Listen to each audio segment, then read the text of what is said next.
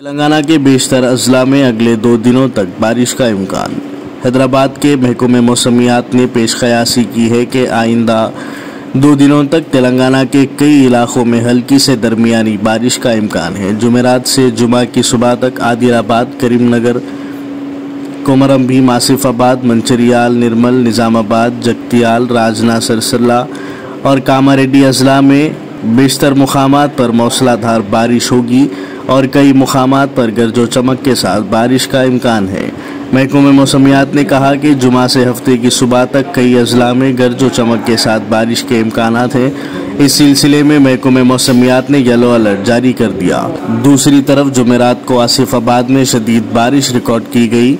सरपुर में सबसे ज़्यादा ग्यारह अशारिया तीन सेंटीमीटर बारिश रिकॉर्ड की गई। आदिलाबाद, निर्मल, जगतियाल, करीमनगर, मुलुगु, वरंगल, हनमकुंडा और करीमनगर अजला में हल्की बारिश का इम्कान है। दारुसलाम बैंक, रियासत तेलंगाना का मुस्तकम बैंक, जो गुज्त 35 साल से आवाम की खिदमत में मसरूफ़ है, जहाँ तमाम तर मॉडर्न बैंकिंग सहूलियत दस्तियाब है।